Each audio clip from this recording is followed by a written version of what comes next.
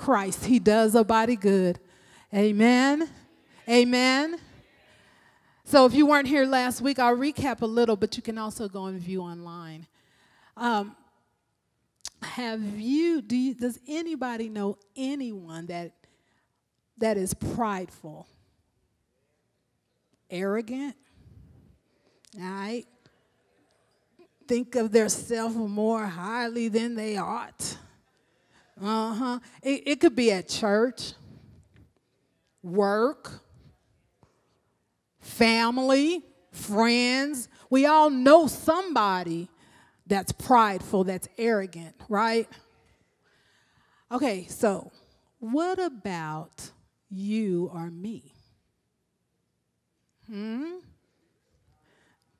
We don't always see that in ourselves, amen?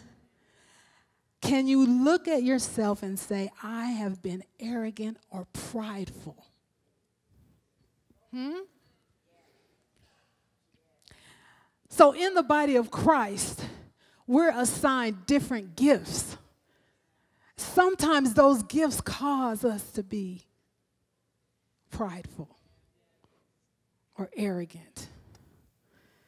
But as we learned last week, it is God that gives the gifts, right? So, what do we need to do? Here's what Paul says. This morning, we're going to focus a lot and we're going to live in verse 3. Last week we lived in verses 4 through 8. We laid foundation. We talked about the body. We talked about how Paul was using the physical body as an analogy of how the, the body of Christ should work together and also how they should relate, how the body of Christ relates to Christ.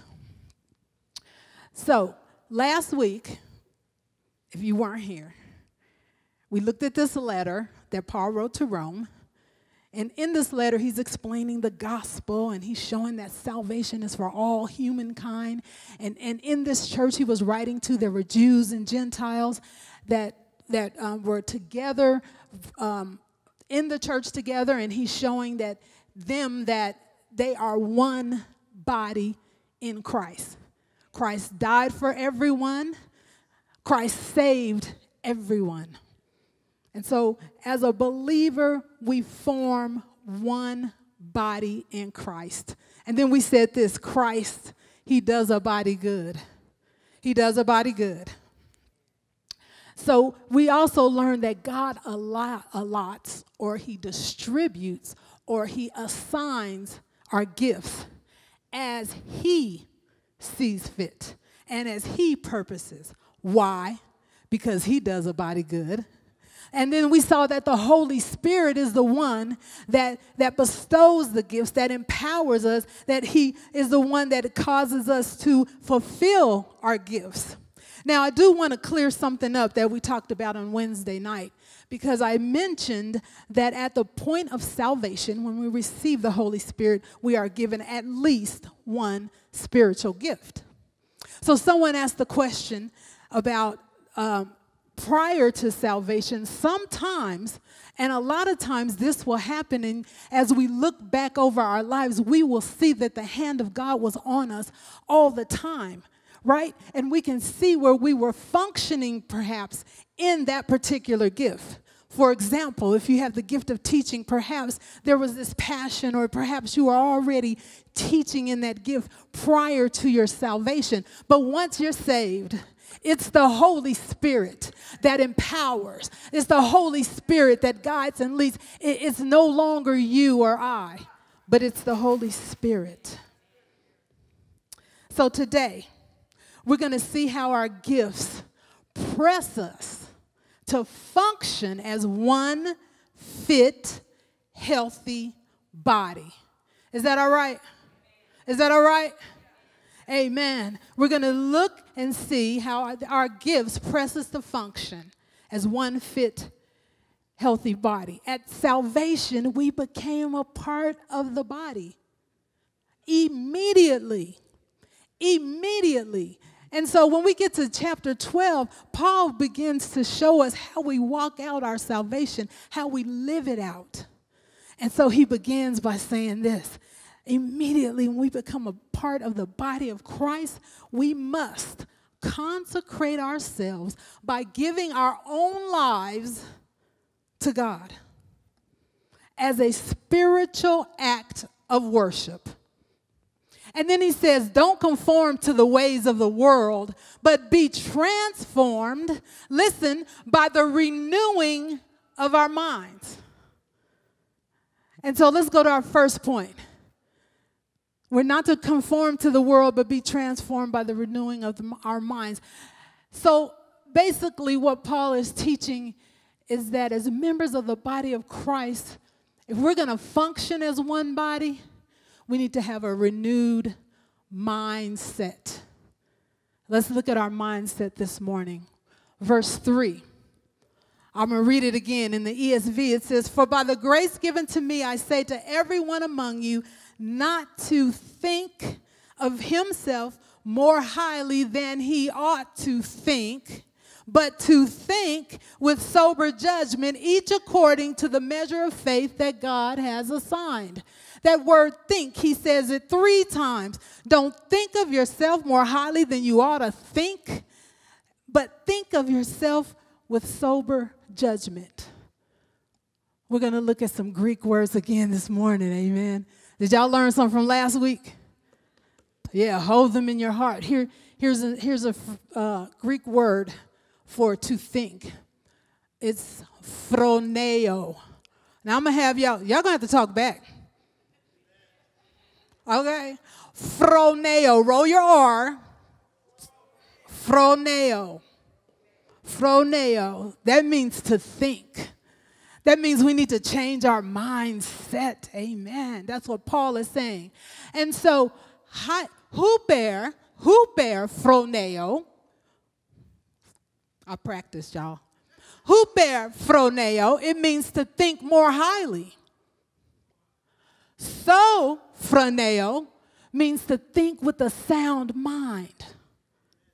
And so, as members of the body of Christ, we should function with a renewed mindset. It's interesting that the first thing Paul addresses is our huper phroneo. This Greek word, it actually means, has to do with pride and arrogance. And he's saying, do not think of yourself more highly than you ought to think. Now, one thing about the mind is that it doesn't think the way God wants it to think, right? Hence, it has to be renewed. Hence, a renovation has to take place in the mind. Why? Because our mind is vital. Free your mind and the rest will follow. Y'all know that song, right? but it's so true if we can change our mindset, the rest will follow. right? So the mind is vital. We have to make conscious, intentional decisions whether to accept or reject Christ. The mind is vital. We have to make intentional decisions whether to maintain communication with God or whether to not maintain communication with God. We have to make intentional decisions to make a commitment to God or to not make a commitment to God. The mind is vital. We must change our mindset. We have we make intentional decisions whether to obey, whether to disobey. We make intentional decisions whether to go right or to go left. We make intentional decisions to be nice or to be mean. We make intentional decisions whether to eat healthy or to eat a lot of junk food. We the mind is vital. Amen. Paul says in chapter 8 of Romans, for those who live according to the flesh set their minds on things of the flesh. But those who live according to the Spirit set their minds on things of the Spirit. For to set the mind on the flesh is death, But to set the mind on the spirit, guess what? It's life and it's peace. As members of the body of Christ, we must adjust our mind, renew our mind. We must change our thinking. So we'll look at this word, huper, phroneo. Don't think of yourself more highly than you ought. Don't think proudly. Don't think arrogantly. Don't think too highly. We must drop the pride and function in our gifts with a humble attitude. Donna said we were Baptists. and, and actually, we know each other because we both directed a choir. We both directed choirs. That's how we knew each other. Because back then, baby, if you directed a choir, you was something, okay? So I used to direct, right? And, and, and honestly, I really put in a lot of work in trying to perfect that gift. And it wasn't about just directing or leading the choir or leading the band. You know, it was similar to a worship leader, worship pastor. But I would take the time and, and go through the, the scriptures and, and try to apply the music to the word so we can understand what we're singing about. I put in a lot of work.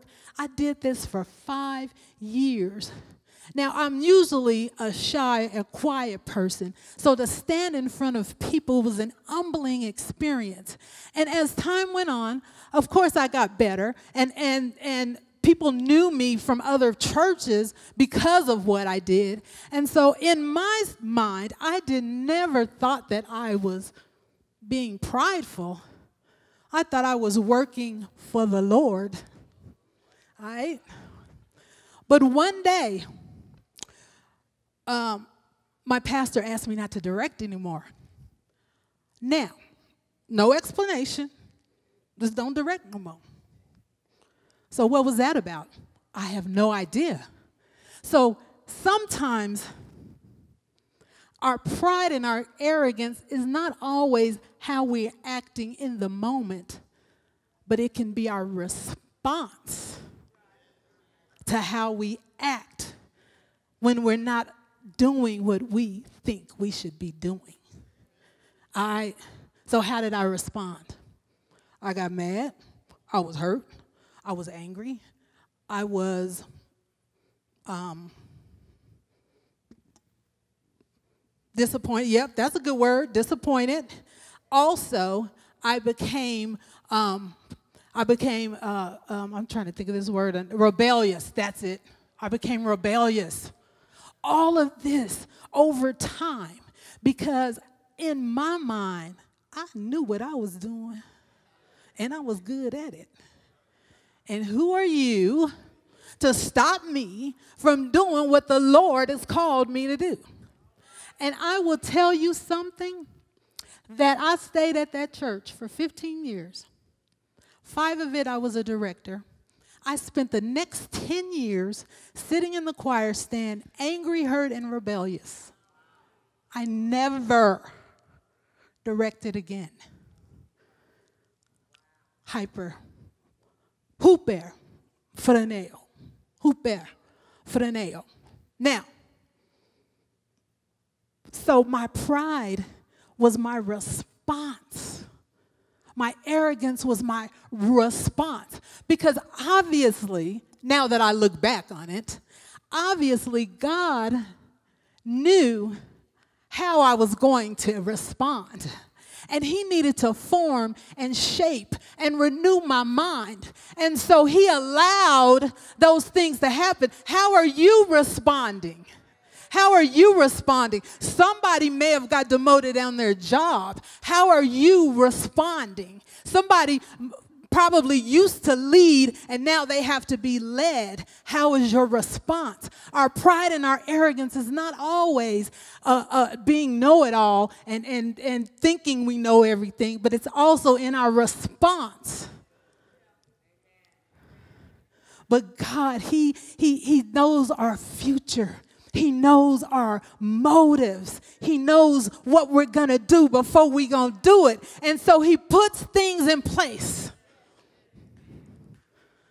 I may not have been standing here. I don't know. But because of my response, the body was handicapped. The body was handicapped. Remember, we talked about that last week. If we're not doing, we're not in our place, then we're handicapping the body.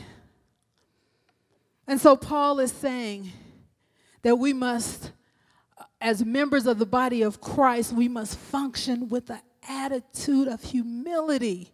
What is that? Humility is the lowly, true self estimate. It's a lowly, true self estimate. Listen to this, and you might want to write it down. It's the acceptance of the place God appointed. Oh, I said something there, y'all. Come on. It's the acceptance of the place God appointed.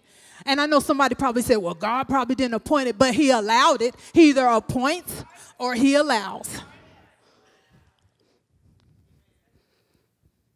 Humility, it's the acceptance of the place that God appointed. Write this down. It's the emptiness of self which God feels. That was good. Come on. I didn't make it up. I didn't make it up. So go ahead and give whoever God gave it to Give God some praise. it's the emptiness of self which God feels. God might have, have you in the front or the rear, but it's accepting his order to fulfill what he has purposed. And we must do it with a humble attitude. So, as members of the body of Christ, change our mindset. You and I change our mindset. How do we do that? We can imitate Christ. We can imitate Christ. Paul wrote to the Philippians in chapter 2, he said, Do nothing out of selfish ambition or vain conceit.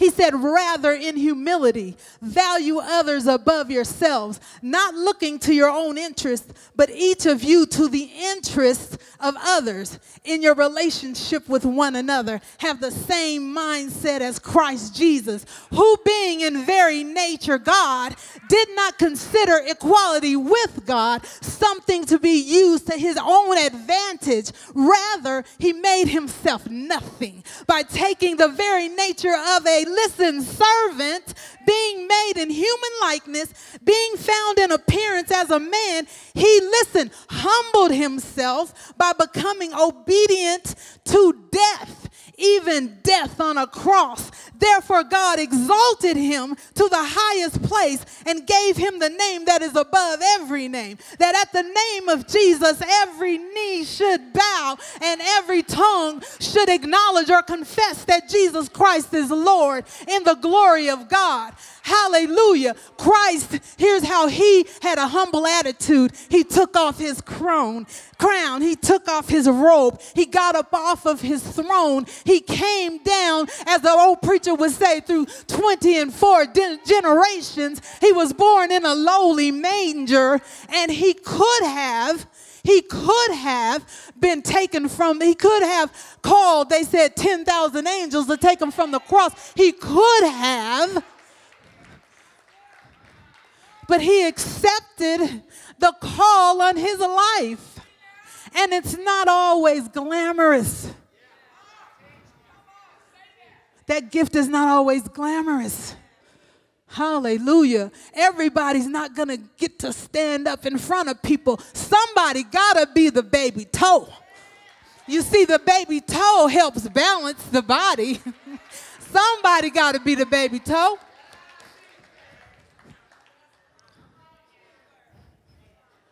Hallelujah. Christ does a body good, don't he? Yeah.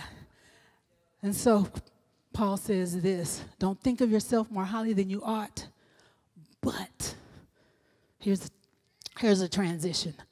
But think with sober judgment. So, phroneo, a sound mind. That word so it, it's come from the word sound, but it also comes from the word sozo, which means saved. But have a saved mind, a mind like Christ Jesus. This idea of a sound mind is, is, is a sober mind. Now, I've been drunk before. I've been high before, illegally and legally. I, am sorry, I didn't mean legal marijuana. I meant legal drugs. sorry, I don't, I don't want y'all to think I smoke weed. I don't. Not now, I used to. Okay, but anyway, I digress. so I've been drunk, I've been high, I've had medications. And, and think about it your mind is not sound and right right? You think things that you wouldn't normally think. Sometimes you do things that in your right mind you wouldn't do. So this sound mind is, is a sober mind. It's a sober mind. So, so we have to, to put on moderate, a moderate estimate of ourselves is what it says. It, it, it, a sober mind is to curb our passions. A sober mind, it means to reason and think properly in a sane manner. It means to have an understanding about practical matters. It's a recognition in ourselves that we can do nothing. Jesus said, I am the vine, you are the branches, and in without me you can do nothing a sober mind, we must acknowledge that, that in Christ we are going to be used to the glory of God. We can think reasonably. A sober mind is a secure mind, a sound mind. And something else about it, when we talked about the mind a few minutes ago, we can make intentional decisions, we can be disciplined we can be self controlled in a sober mind.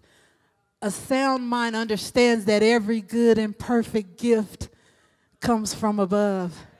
Amen. Doesn't Christ do a body good? He knows what we need when we need it, who we are, how we can function, if we're going to accept, if we're going to um, reject. He already knows all of that. So, as members of the body of Christ, we are assigned different gifts.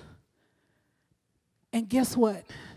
To press us to function as one fit health body, healthy body. So let's put our second members of the body of Christ should function as the Lord determines or wills. Huh. I'm going to contend that it's in the press. God's determination, God's will, it's, it's in the press. He wants us to function as one healthy body. He presses us to do it. He presses us. We have to change our mindset. We're going to see how he determines, how he wills, how he presses. Again, verse 3 For by the grace given to me, I say to everyone among you, not to think of himself more highly than he ought to think, but to think with sober judgment, each according to the measure of faith that God has assigned. Last week we talked about God distributing the gifts. He's the one. We don't ask for it, it's by His grace. We don't earn it, we don't work for it. He assigns it as he sees fit, as he sees fit for a common good. The body of Christ, the church, is a is is what God has determined to be a a, a redemptive agent in the world. It's God. It's not you, it's not me. So listen, here is the press. He said, Paul says, think with sober judgment according to the measure of faith. The measure of faith. Now, I'm not talking about, or he's not talking about, you know, Pastor Karen got a thumble full of faith, and Pastor Ned, wow, she got a bucket full. Pastor Felix, he got a boatload full, right? It's not talking about measure in those terms. So listen, listen carefully. This may sound a little confusing, but I'll do an illustration to, to straighten it out. The measure of faith is the truth that each believer can know the limitations of their gift. I'm going to say that again. The measure of faith is the truth or a truth that each believer can know the limitations of their gift. God has given the gift, and then He gives us the faith to discern our limits in our gifts. Okay, that sounds really weird. Okay, let's look at our physical body. If y'all weren't here last week, I, I said that, and I was, I was like, I was imagining my body to look like Beyonce before the twins. So this week, I'm imagining my body to look like Janet Jackson after she had her baby because her homegirl lost 60 pounds and worked it out. But anyway, let's look at our physical body. Imagine our physical body. Since Paul's using it as an analogy, and it has many members, right? And they all function together. So, as the body of Christ, we are a member or a part of the body, and we should all work together. So, Paul is saying, um, according to the measure of faith that God has assigned. So, look at your hand. Your hand can only do or is limited to do what a hand can do. It can do nothing else. The measure of faith. We used an illustration of eating food last week of how the body functioned together, but check this out. If I was sitting down eating and I picked up a fork full of food, I would use it use my hand because only my hand can do that function. It's limited to grabbing and holding. I wouldn't grab a fork with my elbow. My hand is limited to do what it is created to do. I put the food in my mouth. I wouldn't put the food in my nose because my mouth is limited to do only what is created to do. I, I wouldn't taste the food with my ear. My ear is limited to hearing. My tongue is limited to what it can do. And so the body functions together because we all have a part and we must do what we've been created to do because we're limited to that. We're limited to that function. Oh, maybe you didn't get it. Let's listen to this parable. Suppose your eye could say to your body, Let us walk down these train tracks.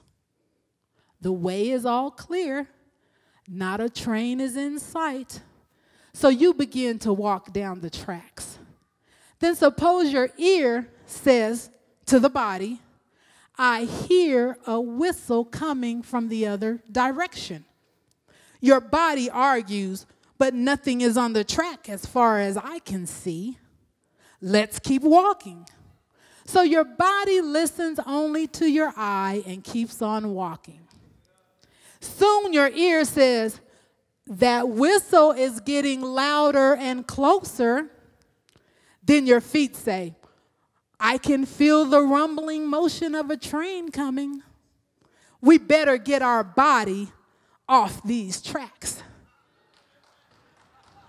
Now, will we get off the track as soon as possible? Will we take a vote? Will we trust the eye? No, we would do, we would get off the track because every part of the body is doing what it has been assigned to do. Members of the body of Christ should function as the Lord determines or wills. We have to change our mindset. We have to function in the gift that God has given to us. And we have to do it as one unit. Don't reject the gifts. Don't reject the gifts. Don't reject the gifts. Let me tell you, uh, sometimes, especially in the church, people want the pastor to do everything. The pastor might be gifted to teach and not gifted to, to come and love on you and, and, and, and, and do the caring that's needed. But he might send a, a minister Topaz who's gifted to love and care over to your house.